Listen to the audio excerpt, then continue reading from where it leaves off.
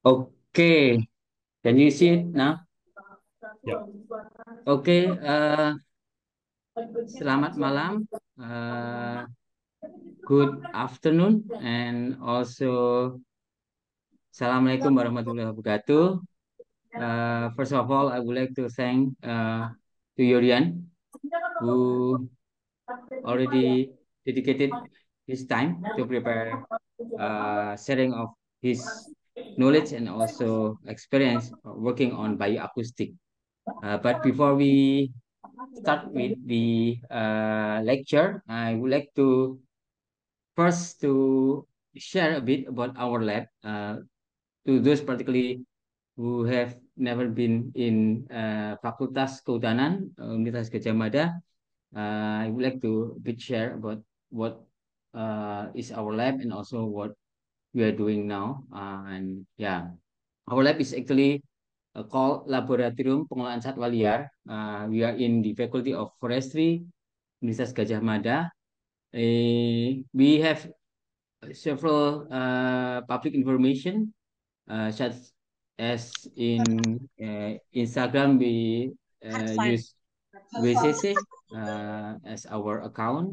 And then in in website we can find satwaliar.fkt.ugm.ac.id or in Facebook we also have Itu maksimal uh, suaranya. known uh, as Wildlife Conservation Center.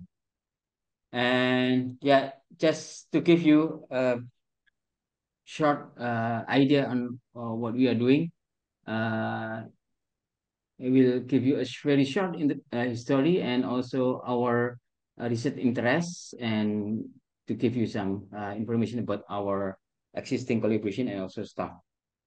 So at beginning, we were not uh, as a wildlife uh, laboratory, but we call it as uh, Laboratorium Suaka Alam or uh, what do you call Nature Reserve Laboratory. And this is the picture of our uh, founder, uh, Professor Djuwantoko. And since 2005 and until now, we have the name of the lab as Laboratorium Pengolahan Satwa Liar or Wildlife uh, Management Laboratory. So we have various uh, name for the position of the head of the laboratorium from Professor Djuwantoko, Professor Satyawan Moko, our colleagues uh, Pak Subeno, Pak Seno, and Sandy, and currently I'm as the head of the laboratory. And yeah, in our faculty, we have a forest resource conservation department, and our lab is part of the uh, forest resources uh, conservation department, among other lab like forest ecology, watershed management, nature uh, tourism Laboratory, and also conservation area management Laboratory. Yeah, this is uh, how we connect. Yeah, uh, I think uh, this is our research interest. So our research interest is actually start from understanding uh, that uh, the change in our nature is uh, is uh, what you call is uh, undenied uh, situation where particularly currently with the global change, uh, global climate change, and also other development change made uh, it is difficult uh, for us to understand whether the wildlife is uh, responding naturally or uh, it's respond as a expression of uh, adaptation. So our first uh, research interest is trying to understand the response mechanism of wildlife on the environmental change using uh, many different approach, like for example, using population, understanding population dynamic, behavior, genetic, and etc. And of course, because we are part of the faculty of forestry, we have been working on understanding the habitat key factor, which correspond to the mechanism of wildlife response and adaptation. And also as uh, our contribution for uh, practical work, we sometimes also need to develop environmental and also population manipulation to support adaptation uh, process of wildlife to environmental change. If it is necessarily uh, to be done. To make it short, this is uh, our uh, member of lab and including our laboratorium. And we have various uh, student and also research assistant working with us, including PhD student. Uh, I think we have more than this. I just only prepare for this. And yeah, we've been working also with many different uh, organization, including uh, universities and also Ministry of Forestry, NGOs, both local and international NGO. We have been working a lot with them. And yeah, of course, uh, while uh, we provide uh, research, we also sometimes provide uh, research grant as well as uh, scholarship for study, but of course, it is limited to some uh, part of it. And yeah, we do a lot of uh, training activities as well as uh, last year we have uh, international symposium on wildlife biodiversity conservation. Uh, sorry, that was yeah 2023. I forgot. And of course, last year with Jorian, I met Jorian in this international symposium on bio bioacoustic research. So yeah, now it's time for Jorian to uh, share your knowledge and also your uh, experience working with bioacoustic. And the time is yours. Uh, you know, we are in Indonesia now, it's at uh, 20 and 10. So yeah. we expect that by 21, 21 and 30, so jam setengah sepuluh ya, we will stop uh, to uh, allow people to have a rest and preparing for the next Ramadan uh, yes. fasting. Okay, uh, stop now and I will let um, Julian to, of course, Julian, please introduce yourself as, as well, yeah? yeah. Uh, I will let you to introduce yourself. Okay, thanks, and the time is yours. Yeah, first and foremost, thank you so much, uh, Pa Muhammad Ali Imran, for this opportunity. And of course, the the initial opportunity to also conduct research in Indonesia. Um, yeah, this research is done in collaboration with UGM. Um, ya, halo semuanya, saya Jorian, saya dari Universitas Wageningen. Uh, hari ini saya akan memberitahu tentang penelitian saya. I'm going to say it in English as I was asked to do it in English, so I hope that's okay for everyone. If you have questions, uh, feel free to say that in Bahasa. Uh, let me just share a screen.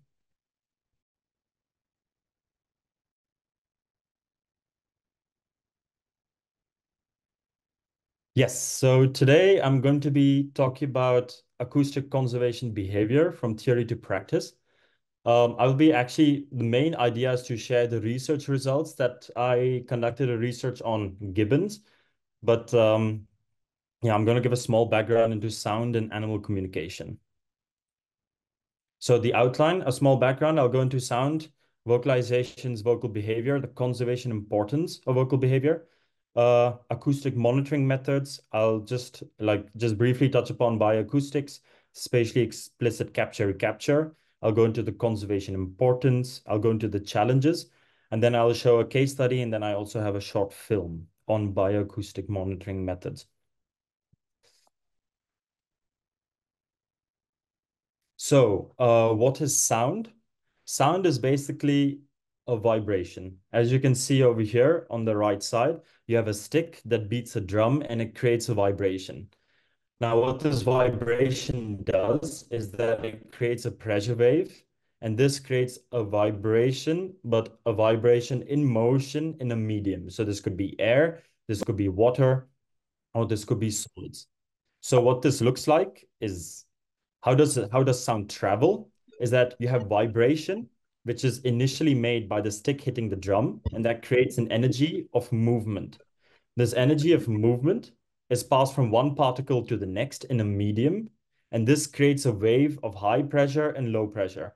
This high pressure and low pressure is because every medium has particles that are closely packed together and particles that are loosely packed together. And this creates compressions and rarefaction. And if you visually see this in three-dimensional space, it looks like a curve. And if you want a better idea, it looks more like this. And each wave or sound wave has three characteristics.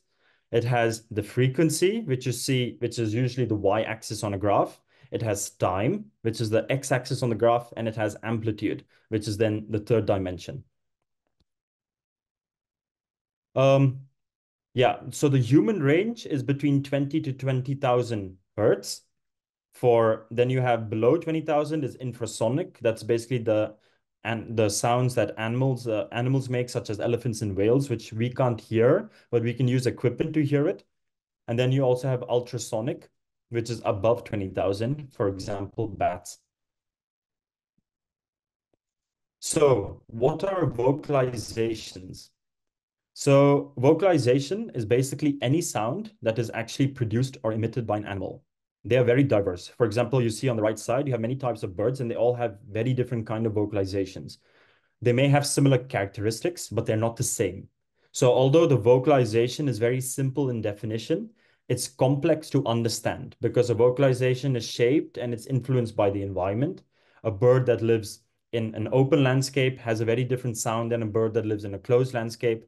A bird that is stressed produces a very different sound than a bird that is basically under threat, and that is also applicable for primates, for example, or mammals, but also different life stages. A young gibbon, for example, produces a very different frequency of sound than the mother, for example.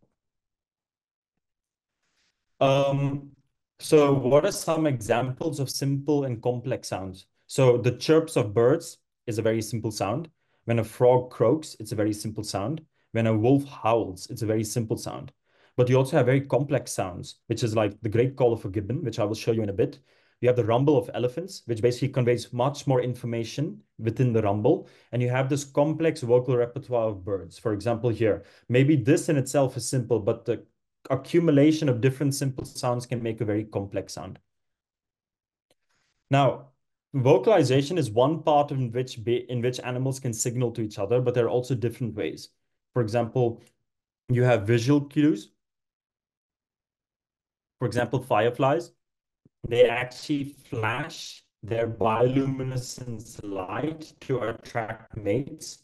And the, the higher the frequency they flash and lower frequency they flash tells something about how fit or how healthy is the firefly. But you also have copulation dances Good. between birds, birds that dance to each other. No they show the different colors, which is also is a visual signal. I'm just going to wait for that sound. Okay, yeah. And then you have olfactory, which is basically um, yeah signals that are communicated through smell. For example, rhinos they urinate by spraying their urine across a very wide area, or dogs to basically say that this is my territory. But you also have chemical behavioral signal, which is pheromones by moths to attract males. So as you can see, vocalization is this one way in which animals communicate with each other or signal to each other. Now, what is the conservation importance of vocal behavior? So although vocalizations is just a sound. But if you look beneath it, the sound is actually a mode of communication and it constitutes critical behaviors that influence reproduction and survival. I will go through some examples in a bit, but what are some of the examples that vocal behavior can help answer? For example, if you want to know what are the effects of anthropogenic disturbance on breeding success? If you put a recorder at the birds in, in an habitat where there is in a yeah in a natural habitat and you put recorders in in an urban area and you put them underneath bird nests you can actually record how many vocalizations are coming from chicks and this can give you an idea what is the breeding success differences between habitat types. But you can also know what habitat supports highest density of species. Does dipterocarp support a higher density of gibbons than lowland peat swamp forest for example but also, how does vocalization change in social groups? Do smaller groups, do they communicate differently with each other than larger groups? And what alarm calls signify danger? Does an alarm call that goes like, ooh, signify that danger, or does the alarm call signify danger? So it helps you understand how do animals actually signify, uh, communicate to each other danger. But, but vocal behavior can also give you very crucial metrics that conservation programs need to develop. For example, occupancy. Is the animal present or is the animal absent? Species richness, abundance, distribution, variability, habitat use patterns. So vocal behavior actually has a huge conservation importance. For example, over here, you have a sparrow. A sparrow has some very beautiful notes, as you can see, but the song in itself, what sounds to us is very simple, conveys a lot more information for bird species. So for birds, a song usually is important for mate attraction. So a female bird actually selects a male bird based on their sound. And this is called a sexual selection. But it's not just the sound that the bird looks at, but it looks at certain characteristics of sound. Is the sound complex? How quickly is the bird producing the sound? How many notes does the bird produce? How long does the bird sing? Because all these characteristics basically indicate to the female that the male bird is healthy and that the male bird is fit. But this also indicates that if the male bird is healthy and fit, it probably indicates that the habitat in which the male bird is living would be better for the breeding success of the babies. So, for example, in the house sparrow, if you look at frequency and you look at the number of notes the bird produces, the relative proportion of that is what males listen, is what females listen to to select a male.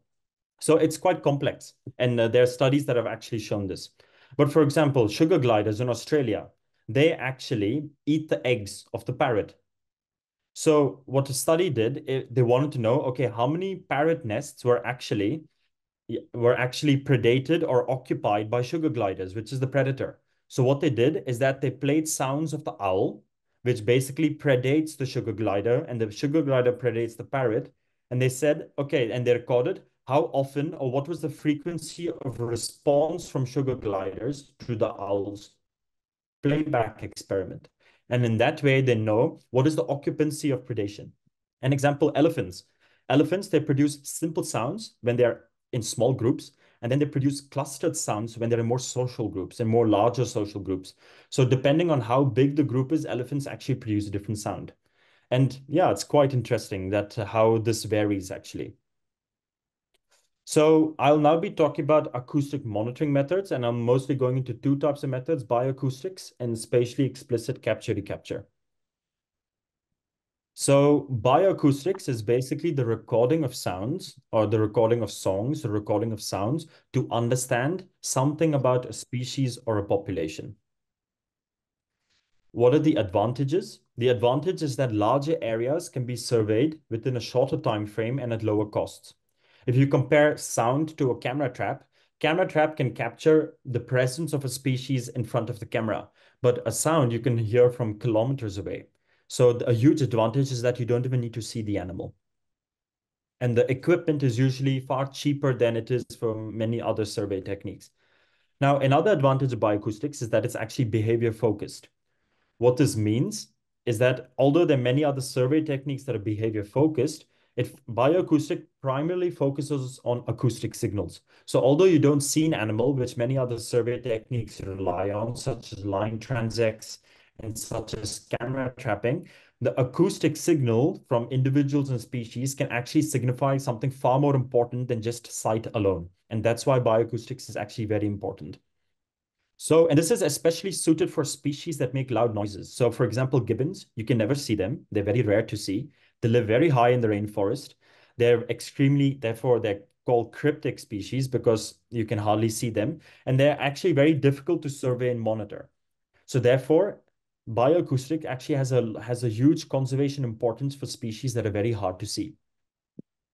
But also bioacoustics can help measure metrics. For example, for gibbons, you can understand which habitat they used. You can understand the density of gibbons. You can understand the abundance of gibbons, the population size, and even if hybridization is present. And this is what my case study will largely be going about. And lastly, although there are so many advantages to the use of bioacoustics, it's unfortunate that bioacoustics is actually not a very commonly used technique. So how does active and passive bioacoustics work? So bioacoustics, which is just the recording of sound, you have two types. You have active, where you actually stand with your equipment and wherever the sound is coming from, you basically direct the equipment in the direction of the sound. But you also have passive, where like camera traps, you just put a bioacoustic monitor to the tree and it records everything that it hears. So in active, you record something specific that you want to listen to, Whereas in passive, you basically record everything that is basically heard in the vicinity. So for this monitor, for example, it was around three to 400 meters. Um, how does triangulation work? So this is a bit of a complex image, um, but triangulation is mostly used to infer spatial locations. And how it does this is that it uses three listening posts, post number one, post number two, and post number three. And what it, and that's usually a third post is here. It's usually oriented in a triangle formation because from every listening post, you want to be able to hear the sound that occurs in the middle. So if you have a triangle, you want to hear the sound that occurs in the middle. So over here, you have a post over here, you have a post over here, and both of them need to be able to hear the sound in the middle. So therefore, the distance between these two posts is not very large. And so what I did is that I, I took three types of data. I recorded the time of call when Gibbons was singing. I recorded the compass bearing or the direction as north, south, east, west, and I recorded the distance. And using these three characteristics from each listening post, you can actually plot on a map where the group, where the gibbon group is actually located. And this is what you use for basically mapping gibbon groups. And you can use gibbon groups to estimate density, to estimate population size. But the main difference is over here is that you're using this to infer spatial locations from vocalizations. So what are basically the advantages of bioacoustics biomonitoring techniques? To summarize, number one, it allows you to survey and monitor populations that are otherwise very difficult to survey and monitor. It can help understand critical behaviors that species use to survive and reproduce.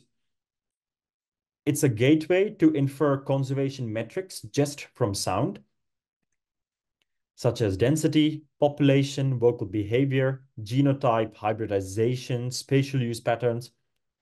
And it's especially crucial in areas that experience rapid change in landscape. For example, Borneo, in the last two decades, there's been a lot of deforestation, but we're losing a lot of nature and species that we have no idea about.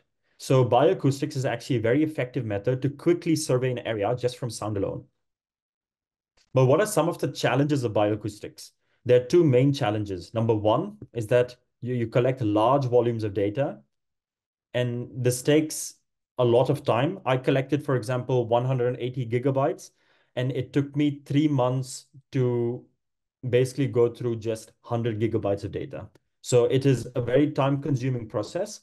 And if you want to try to automate um, bioacoustics, if you want to come up with machine learning algorithms, there are many challenges. You have challenges from the equipment itself. You have challenges from other species. You have the structure of vocalization varies. There's a lot of variability in structure within the species, within individuals, between species. But there's also a lot of vocal instability. For example, vocalization of a baby can change when it becomes an adult.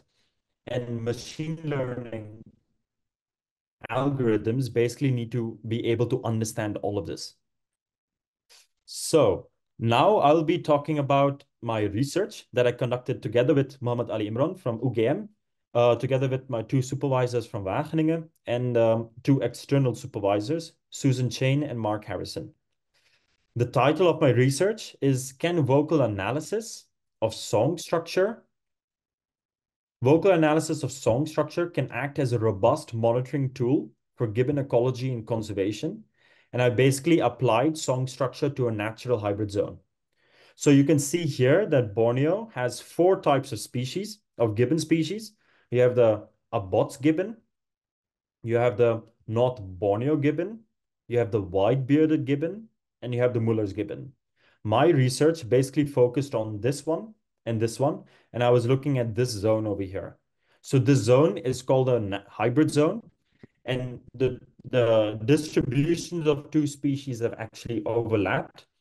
And under natural circumstances, so not because of fragmentation, not because of degradation, two, very, two very different gibbon species have come together to actually reproduce, to produce hybrid individuals.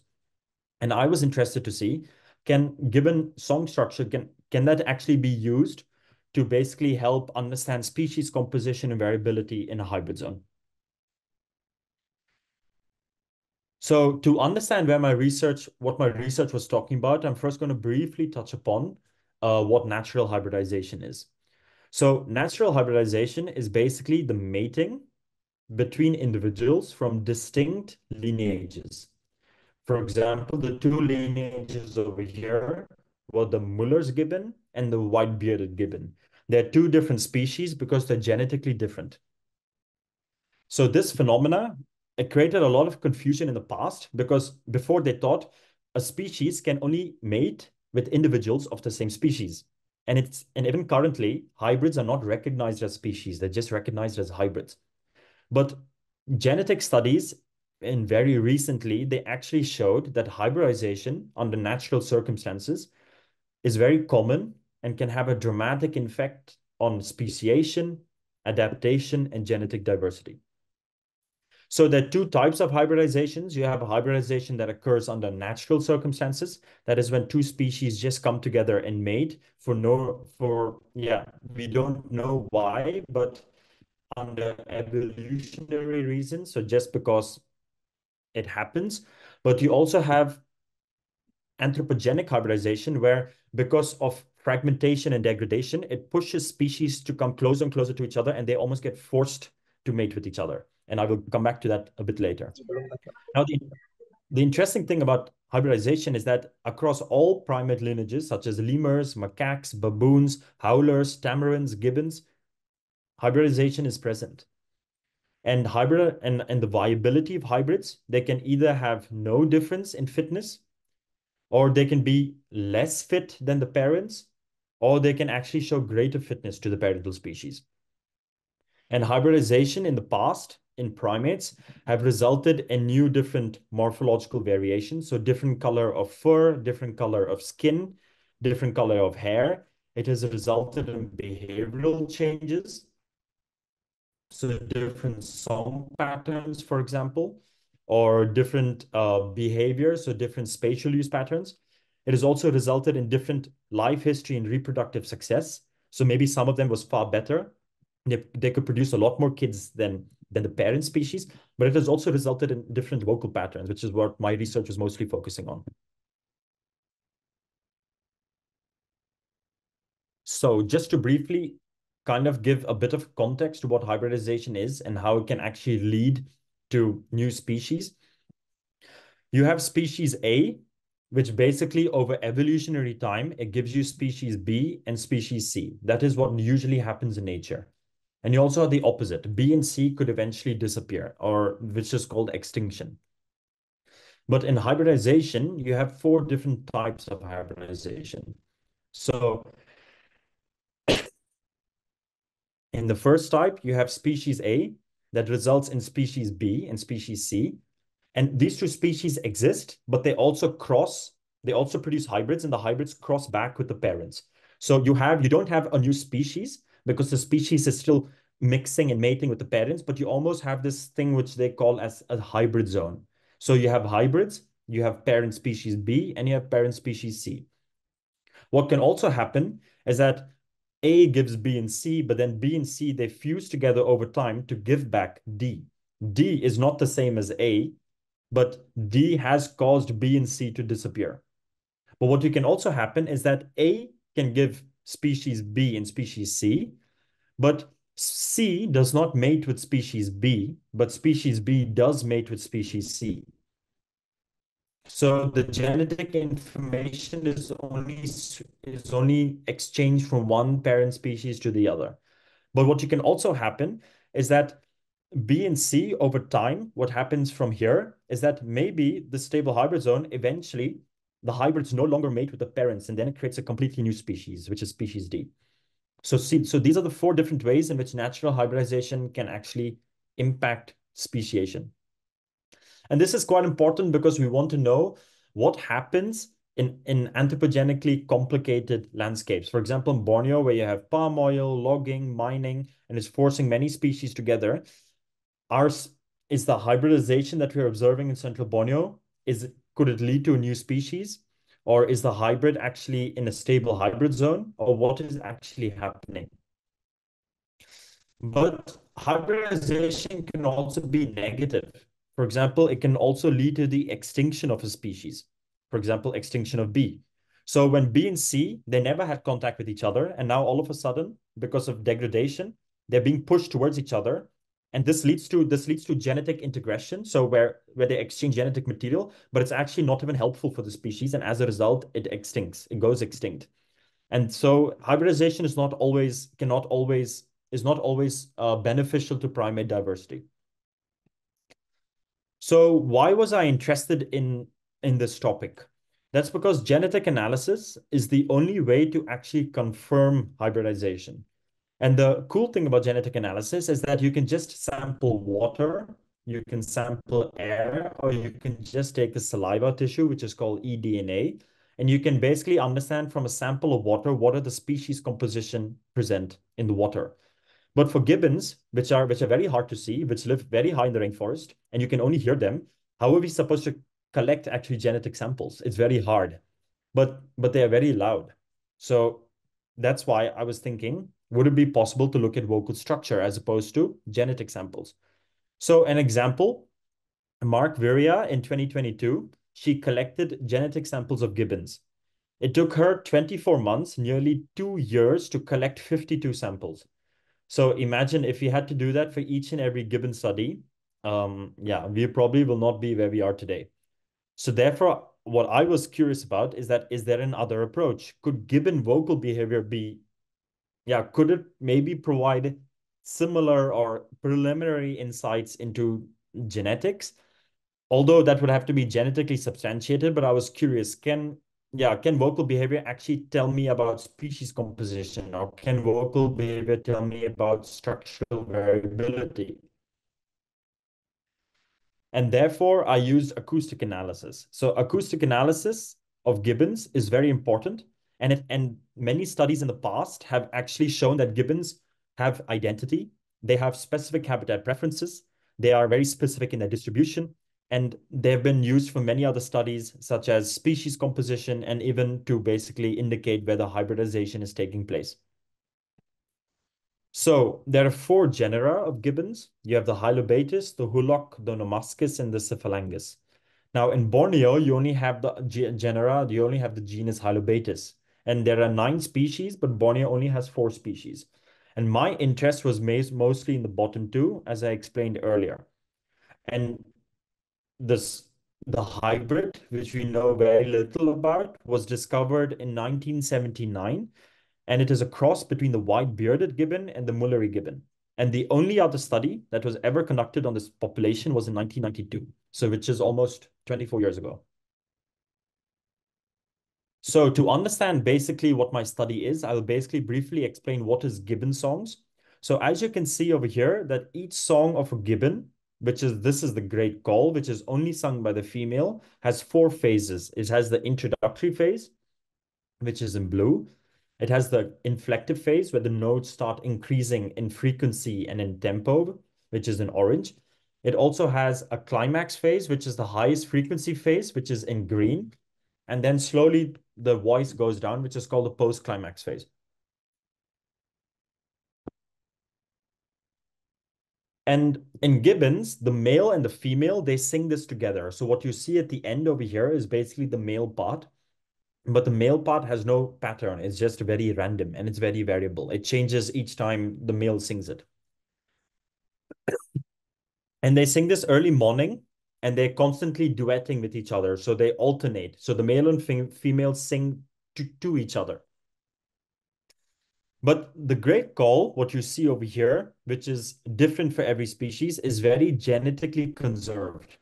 When I say genetically conserved, I basically mean that if you look at a gibbon population 20 years down the line, if you look at a gibbon population 40 years down the line, if you look at a gibbon population 100 years down the line, this great call structure will probably be almost identical to what it is currently in 2023.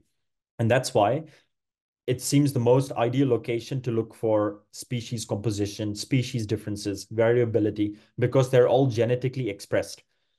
So the great call, it's evolutionary embedded. So it is based on evolution. It is there and it, and it remains stable and constant over time, but it's also stereotypical. With stereotypical, I mean that the pattern and structure in species A is the same irrespective of where the population is. So for the Muller's gibbon in Borneo, it will have the same structure of call as the Muller's gibbon in Sumatra, for example, or in Malaysia. So it's exactly the same thing. It's species specific, so each species have, has a different call and has a different structure, and therefore it's ideal to look for species specific differences. And but irrespective of it being genetically, for example, genetically conserved, there is also variability. So I have a twin brother. We are 99% identical, but we're still very different as people. So although although genetically expressed, we are 99% identical, we are very different people. So as a result, even with vocalizations that are genetically conserved, there's also a lot of variability. And they have found out that this duetting, which is where the male and female sing together, which I will show you in the next slide, uh, hopefully it works, uh, it has been shown to advertise territoriality. It has been shown to strengthen the, the, the mating and the family bonds between, between children and parents and between mother and father. But it is also used to identify, okay, if you have a mother and father and they produce a child, it is also used to identify if the child moves out of home, okay, where is my child? Can I hear my child? But it's all, so it has many different functions. So this is just a very simple category of the vocalizations um, I found in my research. And the top one is basically of the white-bearded gibbon, which you saw on the left side of the graph. The middle one is the vocalization of the right side of the graph. And the middle one is one variation of the hybrid gibbon. I hope you can hear it. Just let me know if you can hear the sound.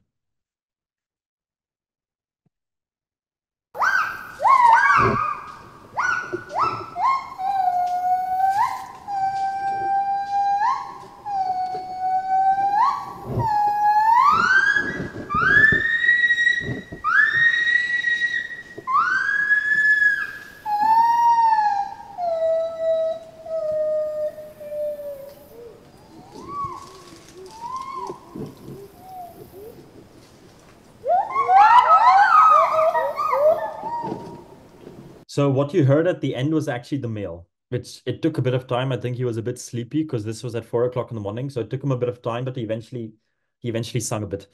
But so basically, so this sound, it's uh yeah, you can imagine how this sounds at four in the morning. It's uh it's a very beautiful sound.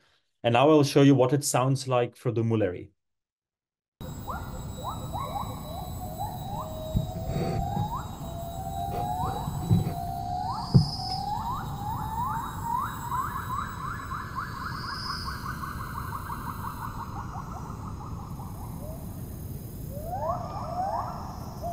Yeah, so you can already say from just hearing it, there are two main differences. One is that it's a lot faster and it's a lot quicker, the notes.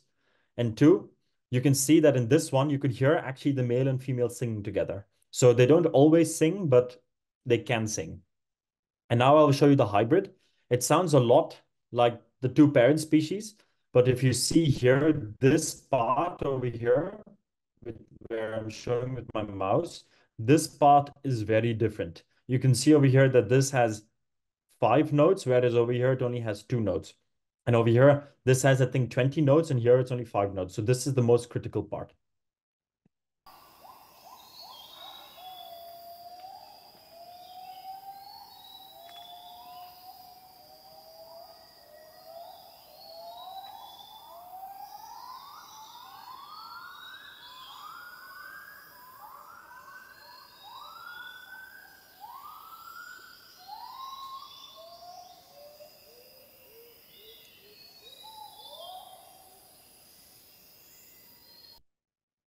Yeah, so this one was a bit further away. That's why the sound is a bit lower. But you can clearly see that the the the the duration of the rest intervals between the notes is far slower. And this is just one variation. And I will come back to this a bit in the results. So how did I actually conduct this research? So I used this software called Raven, uh, which was sponsored by the Cornell Lab of Ornithology. And the platform looks a bit like this. So you see over here that this is called the spectrogram, where you have the hertz, which is basically what I spoke about in the first, is one of the characteristics of sound. Each sound has a level of hertz, and it also has time. So you're basically, we're looking at hertz versus time, and this is a gibbon call. It's a hybrid gibbon, and you can see that the gibbon call is very different. It goes up comes down, goes up, and goes down again. And what I did is that I tried describing this call that you see here, irrespective of how different it is. I tried this, I tried describing it using 14 quantitative parameters, which was basically spectral parameters, which basically look at the spreading of the sound, which is basically focused on the Hertz axis, and temporal parameters, which is focusing on the time axis. And I basically used 14 parameters, which eventually got reduced to 10. But you can see that, um, yeah, the great call has four phases, like I explained before. You have the introductory, the climax, and the post-climax. Uh, introductory is, is very similar to inflective. So I had parameters of duration, which is basically the start of the note till the end of the note. I have parameters of rate, which is the number of notes divided by the duration. So intro notes, rate of emission of intro notes is the number of intro notes, which is one, two, three, four, five, divided by how long it takes for this note until this note to be sung by the gibbon. And then I was looking at variables of rest. I was looking at the interval between the climax notes, which is basically the, the distance between the two boxes here. And you can see I did this manually with my hand, and you can understand why it takes around three months to do very little work. So yeah, it's uh, very tedious. Um, so my research question was uh, determine whether acoustic analysis of gibbon song structure can be used as a tool for species classification, for species discrimination, and to study spatial structural variability in gibbon populations that inhabit a natural hybrid gibbon zone. With this research question, I had three sub-questions. Can the female great call, which you just saw, can that be used to discriminate? Can that be used to say which species is which between species that live together? Um, how does a landscape that is characterized by rivers, by mountains, how does that influence spatial variability in gibbon song structure? And lastly, uh, what I wanted to know is, can acoustic analysis tell me anything? Can acoustic analysis of the hybrid tell me anything about yeah, tell me anything about the parents of the hybrid. So since song structure is genetically expressed, I wanted to reverse it and see, can song structure tell me anything about the genetics? Although this would have to be genetically substantiated, but it is kind of making an educated and predictive probability guess, if you can understand what I'm trying to say. So uh, what is unique about my study site? So my study site, which is Barito Ulu, was one out of the three natural hybrid zones in all of Southeast Asia. So the entire Southeast Asia, there are only three zones. One is in Thailand, one is in Malaysia, West Malaysia, and one is in Central Borneo. Um, which is very unique, but there's only been one study that has been done. And that's why I was a bit like, oh, that's a bit weird or a bit surprised. So I was like, okay, let's focus on the gibbon population in Borneo. It's the only hybrid zone in the whole of Borneo. Uh, yeah, it's the only hybrid zone in the whole of Borneo where the distributional ranges between two species, the white-bearded gibbon and the Muller's gibbon, the albibarbus and the Mulleri, where they overlap. And it is the only known case of natural hybridization between gibbon subspecies. There is no other known case in Borneo where this has happened under natural circumstances. And this is also not caused by fragmentation. It's not caused by mining. It's not caused by logging. It just happened. And the hybrid population is very locally distributed. It is found nowhere else besides 3,500 square kilometers in the middle of Borneo. So my study site, uh, so you can see my study site was around 8,000 hectares and the elevation changed from zero to 550 meters. So the red is basically slope. It shows you how steep is the mountain. So you, 90 degrees is like this. So 60 degrees is very steep, if you can understand. So um, yeah, although the elevation is only between 0 to 550 meters, if you're walking up a slope with 60 degrees, yeah, it takes a bit of time. Um, I had 18 locations, which was basically six locations times three because each location was made up of three listening posts, which you saw in triangulation. This was mostly done for triangulation.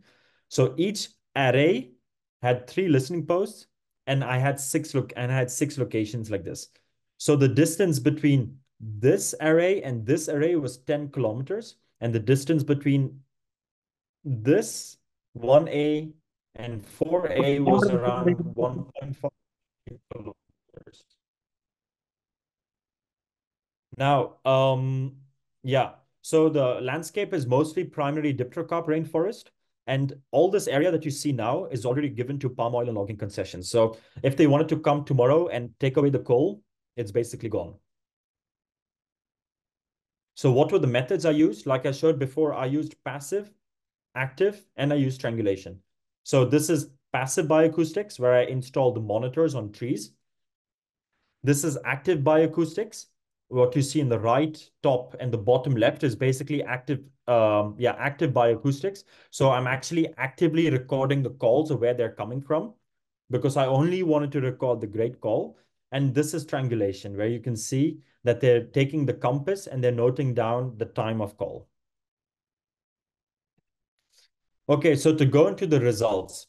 Um, so I used um, I used uh, three different analytical techniques, which I've not gone into detail because it's not really important. But um, but this, this is basically the results. This is all based on structural parameters. So you can see very clearly over here. So in order to know if there's a hybrid, you first need to know, is it true that there are two parent species? And if the two parent species are there, um, are they actually different based on the vocal characteristics they hear? That you can hear. And you can see very clearly that red is Mulleri and blue is albibarbus. You can see that they don't even touch each other except for one point that was misclassified. They don't touch each other. So you can see that the characteristics that belong to one parent are very distinct and they're indeed very different than the characteristics, vocal characteristics of the other parent. So what I did was I I did a dimension reduction analysis where you basically look at all the parameters together and the algorithm then pushes the parameters in only two-dimensional space, which is the y-axis and the x-axis. But I wanted to know, um, can I can the data tell me how many clusters there are? And this I used using hierarchical cluster analysis, which I used below. And you can see very clearly that on the left, you have Mulleri, which is the red. And on the right, you have Albibarbus, which is blue. So you see that this image and this image say the same thing, but in a slightly different way. Now, this image, basically, it's correct, but you have other analytical techniques which are a bit more specific and they're a bit more precise. So I wanted to cross-check or cross-validate.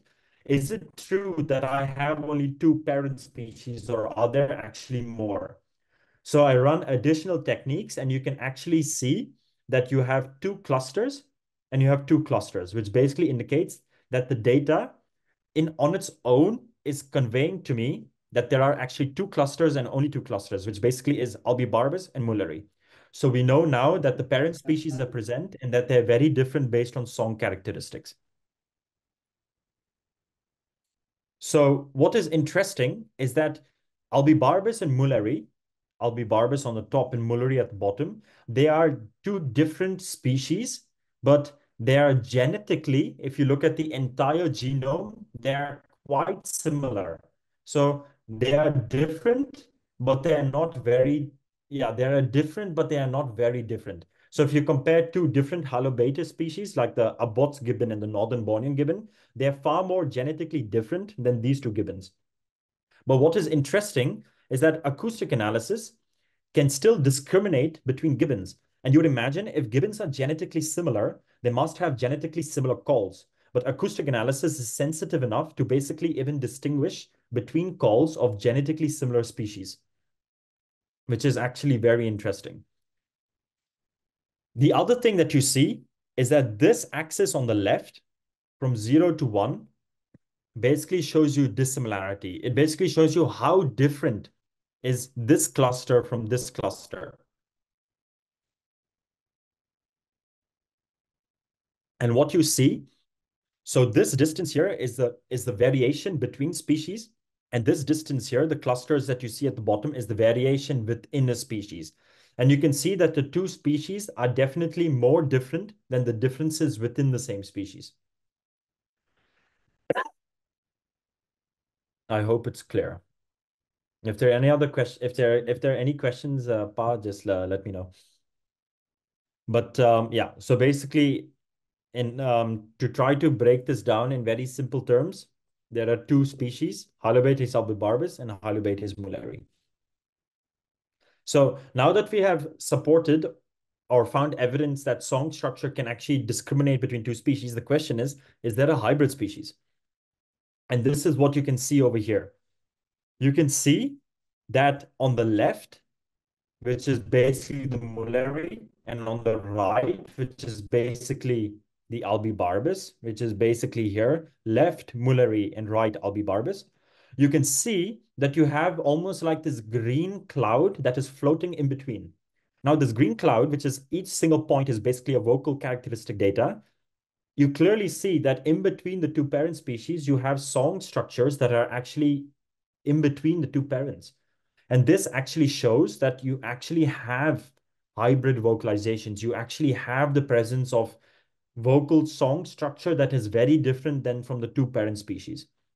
And that was the last recording that I that I that I made you listen to. So again, if you do a cluster analysis, you can again see that on the left, you have Mulleri, and on the right, you have Albibarbus, red and blue. But what you what is interesting is that you can see that the green occurs uh, across the entire gradient. So when you go from left to right, the hybrid structure of song resembles more one parent on the left side and it resembles more the other parent on the right side and it resembles both parents in the middle. So this cluster in between the in between the red and in between the blue, actually the structure of the song of that hybrid vocalization and therefore individual resembles both parents left and right pretty equally. But this cluster all the way on the right is very strongly similar to Albibarbus, whereas this cluster on the left, the structure of the song is very similar to Mulleri. Again, I carried out additional statistic analysis to really make sure whether what this analysis showing is correct. And you do and you do see that indeed there are only two there are only two clusters, which is one parent and the other parent, and you have two clusters here, which is one parent and the other parent. Now you may ask yourself, well, if I'm seeing three types of vocalizations, why don't I have three clusters? If you remember in the beginning, I showed you the different evolutionary mechanisms of hybridization.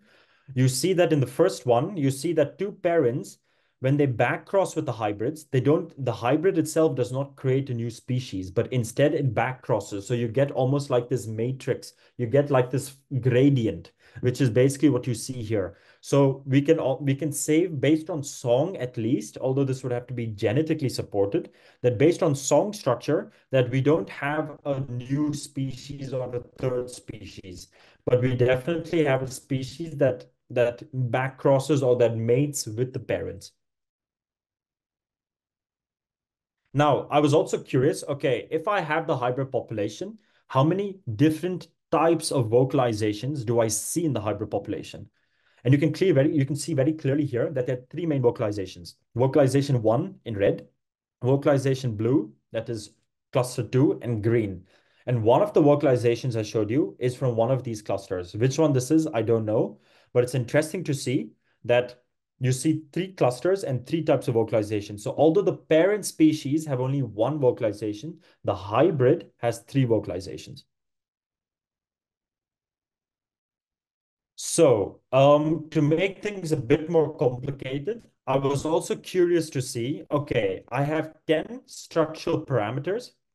I wanted to know which parameter could predict the great call structure the best. In, in other words, if I have, I was looking at a hybrid zone with two parent species and a hybrid species. I wanted to know if I have no idea what species is what, are there any structural parameters that can predict in advance that can predict, okay, how many species are there? So what you can see over here on the top left is that you can see that if you if if you only look at the albibarbus and you only look at the Mulleri, you see that the post-climax phase, which was the last phase of the call, is actually the most important predictor. And that makes sense because the main difference between albibarbus and Mulleri is that you don't, the albibarbus does not have that last phase of call. So this makes sense. But I was curious, if I put all the species together, say I put all the vocal parameters together, what do I see? And you can see that the duration of the climax trill phase, so that is the duration of the highest frequency notes and the rest intervals between the high frequency notes, that these two parameters alone, if you build a model and you train the model, these two parameters alone can tell you how many species of what, how many individuals of what species are actually there in a population, which is very interesting because that's what we're actually curious about. We're, we're, we're trying to see, can we actually automate this process? We don't want to keep doing this manually. We want to automate it. And you can see that based on the model that the accuracy with which this algorithm is able to predict calls is almost 100% accurate for the two parent species, and that it's almost 86% accurate if you're looking at all the species together. So in other words, this model is already very accurate. If you train it more, it will become even more better.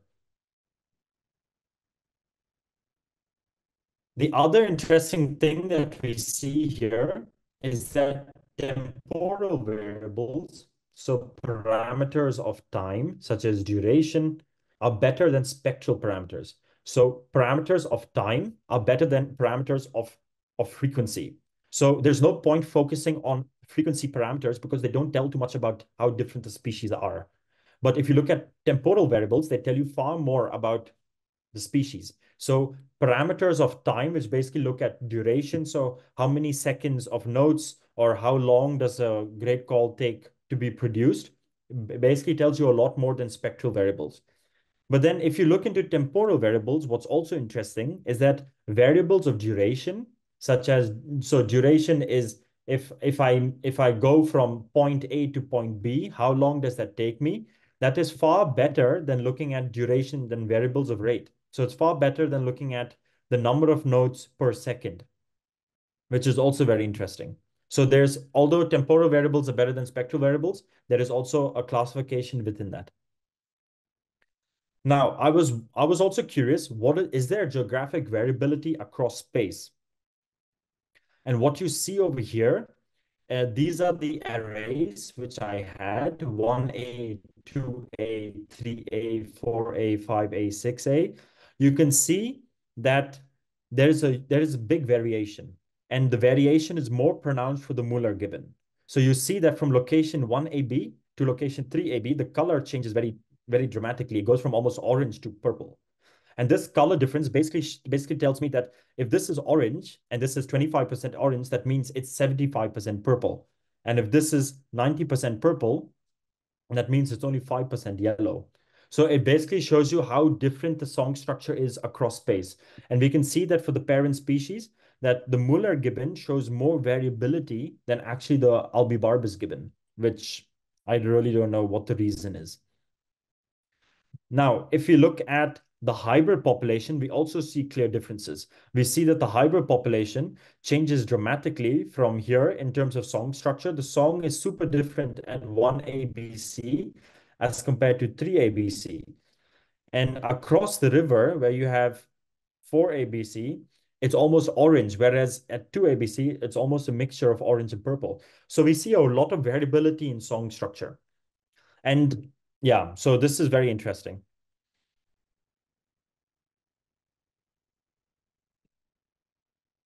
Now, the last thing of the results is basically the genetics. And that is basically, although I did not do any genetic analysis, I was wondering, can song structure tell me anything about the about potentially about the genetic makeup of the parents?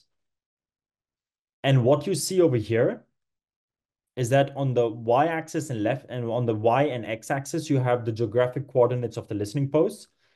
And this, the A, this color scheme over here is basically tells you this. So basically tells you this if you have color purple, for example, this point over here, it tells you that it's almost 100%, the structure of the call is almost 100% that of H. albibarbus. If you have a point that is yellow, it tells you that the structure of the call is almost 100% Mulleri. So what we did here is that we used the model and we trained an algorithm on it and we made the algorithm predict the hybrid song structure with respect to the parents. And what you see over here is as you go from as you go from location 1A to location 3A, there's a dramatic change in the in the predicted parental contributions to song structure. So over here, song structure is mostly albibarbus. As you go five kilometers down the river, it becomes almost half albibarbus, half Mulleri. And when you go further down, it becomes almost completely Mulleri. So we see that across space, the the parents, the populations of parents is changing. And this is resulting in variations of basically hybrid song structure. And the song structure that we saw, we saw three variations, is likely, could be because of this. And what is also interesting is that you see that the line changes dramatically. It goes from, so this is the mean. So I, all these points together, I took the average and I said, okay, what is the average that it is parent one and what is the average that it is parent two? And you see that it goes from almost 0.9 being parent albibarbis this changes across five kilometers to being 0.7% albibarbis, and then it dramatically falls down to just being 0.2% albibarbis, which basically means that it's 0.8%. It's 80% basically Mulleri. Um, and the main difference as to why we don't have any yellow color over here is because of the river. So we see that the river actually prevents uh, it prevents Hylobates Mulleri from coming down the river. And therefore we don't see any yellow color on the on the on the south on the south side of the river. So to wrap up uh, my research, um, yeah, I hope it's understandable. Um, it is not too easy to always break it down in simple terms, uh, just using a few presentation slides. But so what is the cons conservation implications of this research? Firstly, Borneo is it's a very it's a it's part of the Sundaland biodiversity hotspot and it has a lot of endemic fauna. Secondly, it's the first time that this hybrid population, that this gibbon hybrid population is being put on the map. Although previously there was a research, it's not publicly available. So this will be the first time that this research will be publicly available and that people will know that there's a hybrid population. It's also the first time that auditory data collected can be used for long-term monitoring. Before, auditory data was collected on cassette tapes, but these tapes you don't use anymore. So this is the first time that we actually have auditory data. It's the second study ever conducted since the discovery of this population. Uh, first one was in 1992, and the second one is in 2024. So, which is also interesting that there's a large gap that we actually don't know about. How did variability in population change? We don't know that. Thirdly, it improves our understanding on how natural hybridization occurs in natural hybrid gibbon zones. It shows us that natural hybridization impacts song structure and that across space there is definitely a difference. But it also shows that, that if you have rivers and mountains, that, that song structure can also tell you where is there limitation for individuals to disperse. Three, uh, we show actually here that gibbon great call vocal structure is a very robust monitoring tool for gibbon ecology and conservation. Uh, we also show that, so we wanted to actually develop bioacoustics as a reliable tool to survey and monitor gibbons. And how we did this is that we actually broke down the great call into parameters. So this is one way of quantitatively basically tackling this problem of trying to automate gibbon acoustic analysis. And lastly, this research was not done by myself. There were a lot of people from Murung Raya that helped me with this research. So it also contributed them to giving a different source of income and to helping them learn a new skill and technique for future research. And um, yeah, now to wrap off um, this research, I have created a very short video that will give you a better idea of what it looked like in the field. Shall I play it? Yes, please. Okay.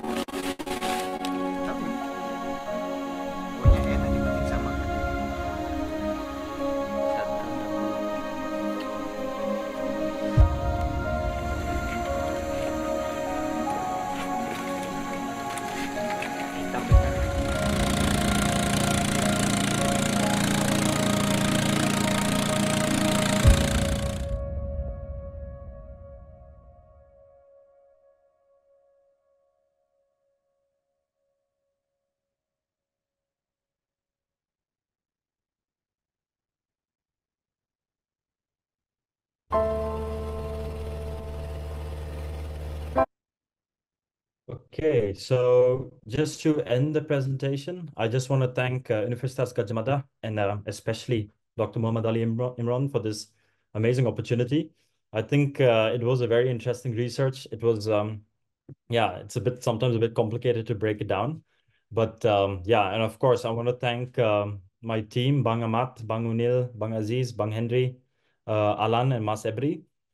I would like to also especially thank uh, Kristen Moreau uh, because she actually lent out uh, passive acoustic monitors and there are a lot of uh, funders that have contributed to financially supporting this research. So a big thanks for that.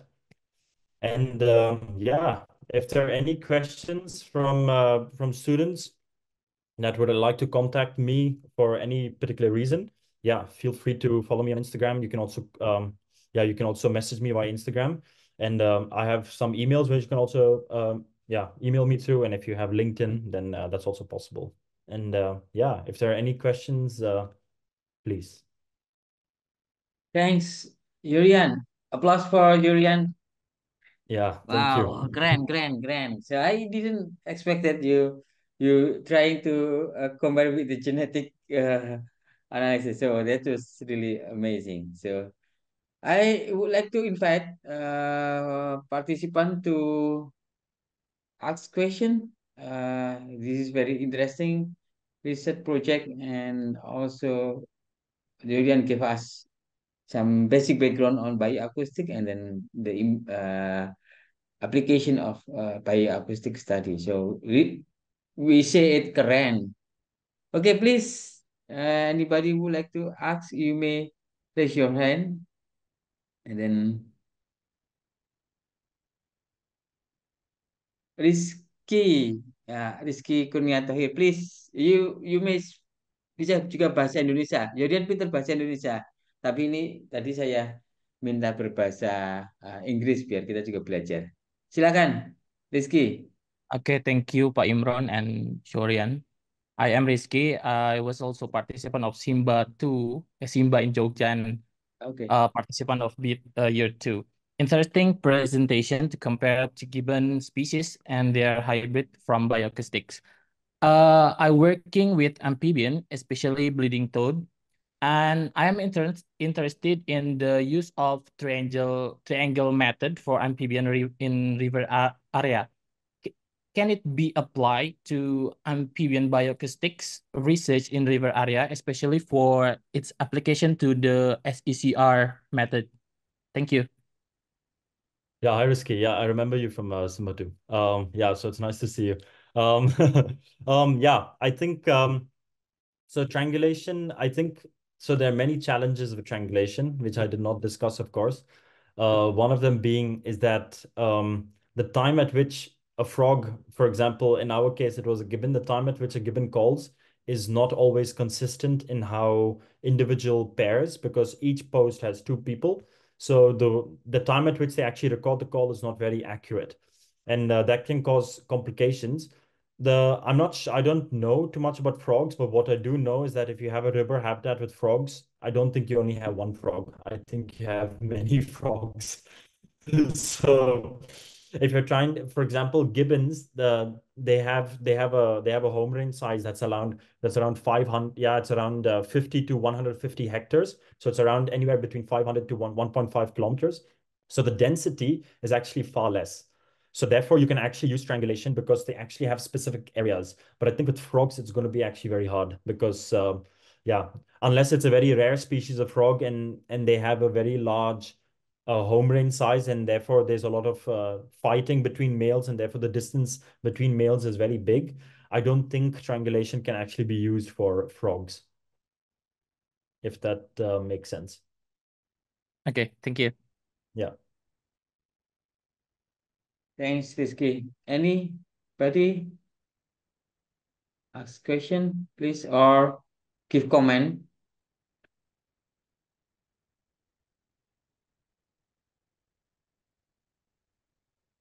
Swanley, yes, please. Can you open your mic? Um, hi, can you hear me? Yes, please.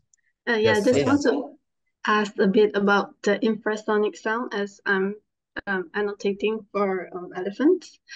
Like, how do you like observe the rumbling sound in this Raven Pro software as it's like it's hard to detect it? So so you're asking how you can actually uh how you can actually see infrasonic sound?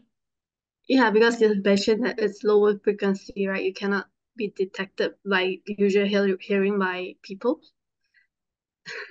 Um yeah, I actually I mean um I've I have I've heard, I have heard elephant rumbles, but they are they're not the infrasonic rumble. It's more the like the human hear rumble. But uh, you actually have special equipment like you also have for bats. You have special equipment that can actually record the same spectrogram, so you can actually see the notes of the bat. Um, um, I mean, bats don't really have notes, but you can hear the squeaks. Um, actually using special equipment. So you actually have special equipment also for infrasonic sounds, like for elephants. So it is possible to actually see it but uh, like like a rumble is just it's a it's very close going it just it's just a rumble of noise so it won't be as clear as what you see for a gibbon but it's definitely possible to actually see it on a graph yeah Okay, thank you. Yuri- Jorian, I have a team who work also on elephant acoustic so I would like to invite Mhm. Kiot or uh, Nabil to explain their experience on uh, detecting rumbles. Yes, Kiot? please. I will just stop uh, sharing my screen. Yes. Kiot or Nabil, can you explain a bit? Swanli, do you speak Bahasa or not? Uh, I'm from Malaysia, so I'm not really sure about Bahasa Indonesia, but I can speak, I can understand Bahasa um, um, if it's a bit more simple. Okay. So I, I invite uh, Kiot or Nabil. I can help you to translate if you like to speak in Bahasa. Oh, oh, hello. Yes, Hello. please, Kiot.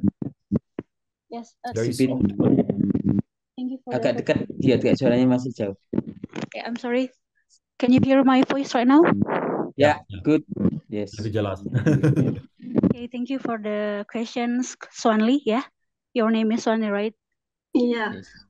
Uh, so uh, our thesis, uh, uh, I'm sorry, my undergraduate thesis is about vocalizations of uh, Sumatran elephants uh, in Taman Nasional Gunung Leuser or Gunung Leuser National Park, Tangkahan Resort. So first time we must uh, hear everything of the elephant Sumatran sounds. So we must check one one by one of the Sumatran elephants from the Sri Lanka and from Africa from the website of Elephant Voices and another uh, source. So first time uh, is it, that is the first step, and the second step is we uh, we follow the Sumatran elephants at the forest. So we must know what is the rumbles, what is the roars, what is the uh, trumpets.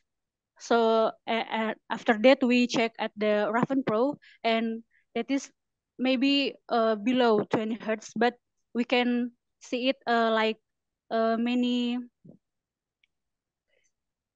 many strips, yeah, many strips, uh, the black strips, and we can uh, do yeah we can different it with uh, another uh, sounds yeah can you Clear? know what i mean Yeah. yeah Yeah, Yes, yeah. yes, thank you so much. Clear, clear. Thanks, Kiot. Uh, Suddenly, it's, so yeah, you can uh, discuss with Kiot or Nabil later on uh, about this. And thanks for the question. We have also Nabil. Actually, I would like to invite Nabil to answer it, but he asked it. So please, Nabil. Sorry. Uh, yeah, uh, maybe I want to add uh, a little information about the Rumble sound first.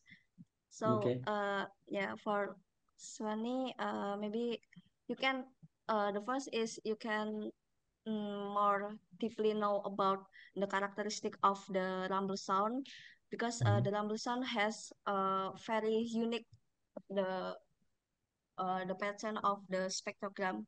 So if you just focus in uh, the lowest frequencies, uh, maybe above uh, 3000 and six, 3060 hertz, Mhm. and uh, yeah, you just focus to analysis in that frequencies, and you know the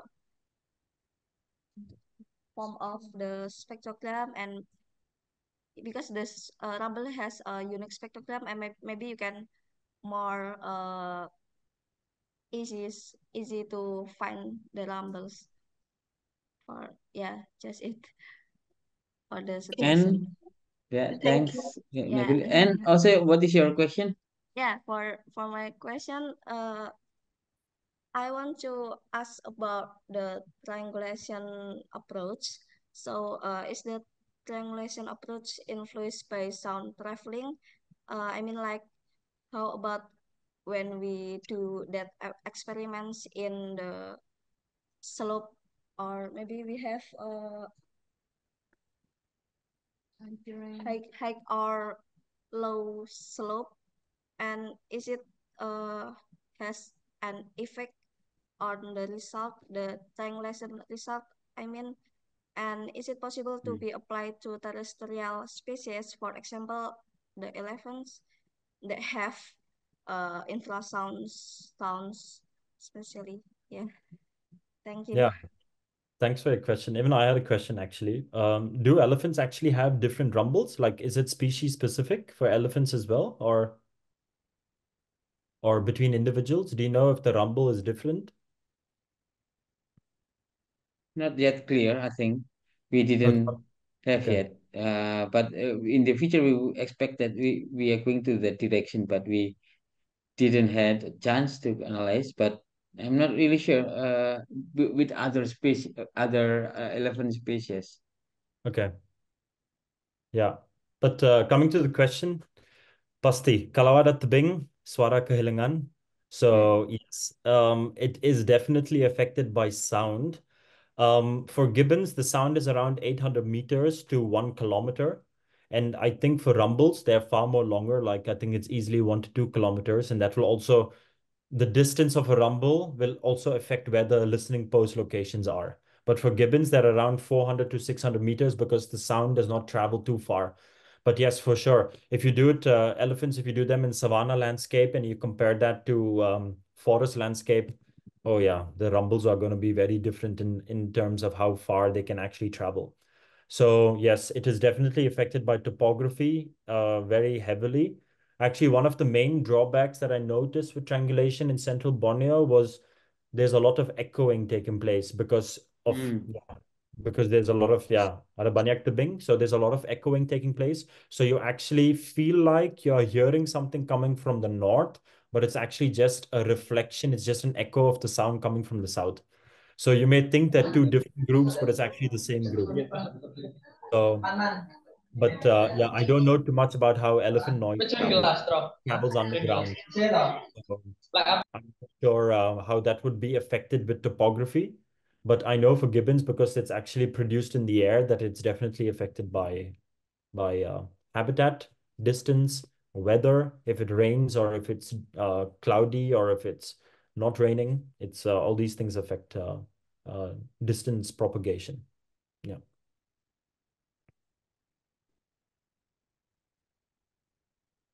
Jorian and also Nabil for the discussion. Really nice to have uh, many different uh, source of information. Animals, yeah, So for sure. yeah, yeah. Any more question for Jorian? Uh, me, sir.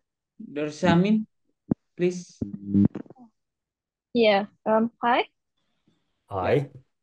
Okay. Uh, so when you did the um uh, active uh, acoustic sampling, did you also do the visual observation to uh to, to identify the species, or you did basically just mainly from the calls?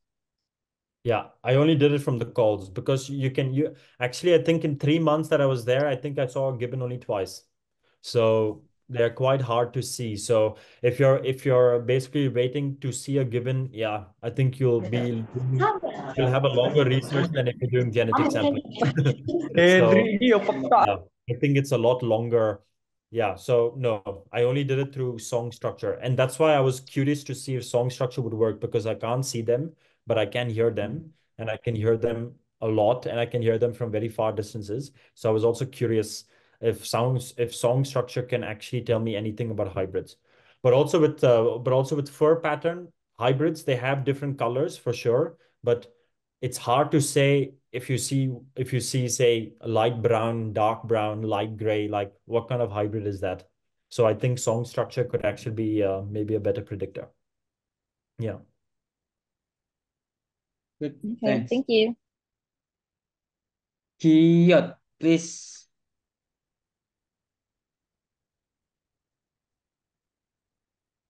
Again for the uh, interest research. Kurang jelas Okay, right now Yeah. can you hear? me? Yeah, Yeah. good, good. Yes. Yeah. Okay, I'm sorry. I'm sorry for the for the sound. Okay, uh, first uh, that this is the very interest research because this is my first time to know the sound can uh can can help us to know about the genetic of the Hylobates uh.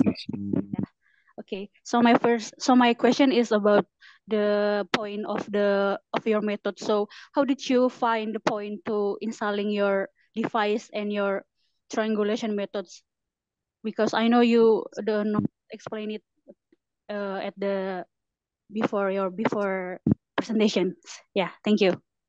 Yeah, no, thanks for your question. Maybe just to clarify, song structure like song structure can't say anything about genetics because I've not done any genetic analysis. But what I'm doing is that I'm I'm saying since genetic analysis determines song structure, can we do the reverse analysis and say can song structure determine something about genetics?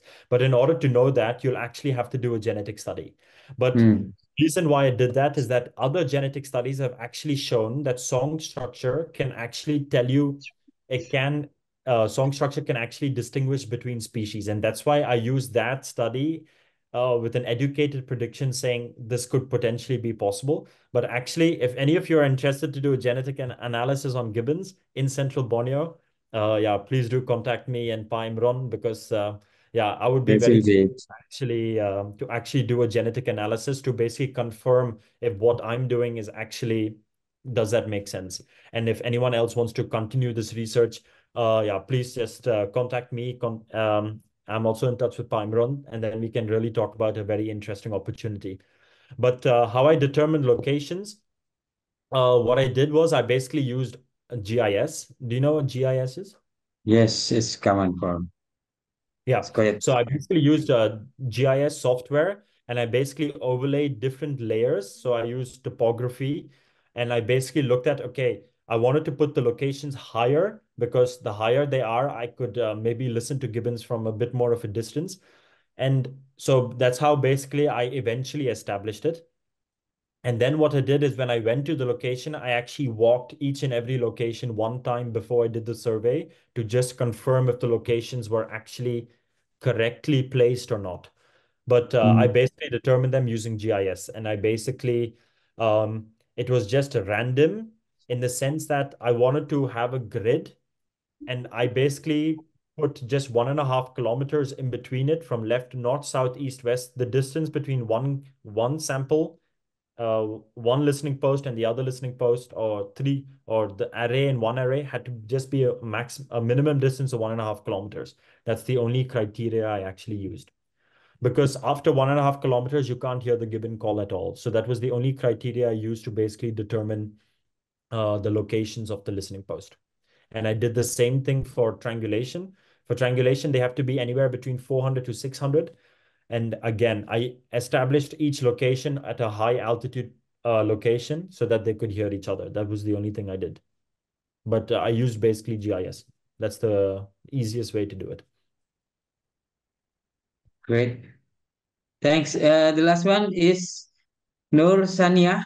Uh, you may ask directly, Nur Sania.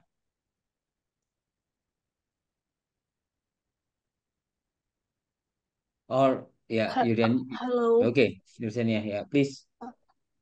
Hi, Jarian. Thanks for uh, the amazing uh, research. Uh, uh, we do the research for the uh, gibbon and siamang in Lauser National Park uh, with uh, fixed point count method uh, triangulation, and uh, we do uh, pa uh, passive acoustic monitoring. Uh, but uh, the passive acoustic monitoring uh, just for check uh, present and absent.